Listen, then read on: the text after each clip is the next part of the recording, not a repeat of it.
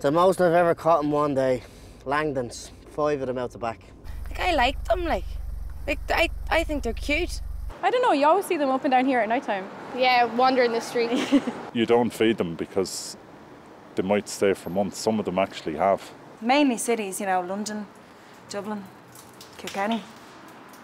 Kilkenny a lot, actually, at the moment. You know, it's, it's steady work. It's um, keeps me going. But I feel sorry for the little fellas, you know. You'd see them at night and there'd be stuff coming out of their mouths and No, look, there you stand.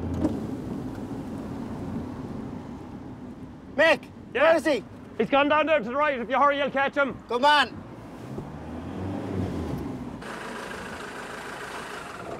You don't normally see them out at this time of the morning.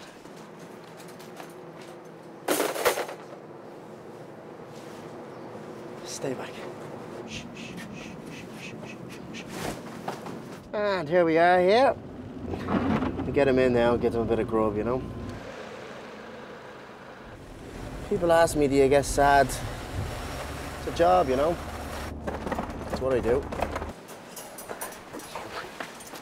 This is outlandish, like a malfunction. It's absolutely disgraceful what we have here. This is just totally wrong. It's dehumanizing. Hope you're ashamed of yourself. Just do my job, buddy. Just being a pixie head, more like. We're human beings too, you know. Eleanor, Fred, Hi, Gunter. go road. Karl, Karl. Guten Abend. Jesus Christ.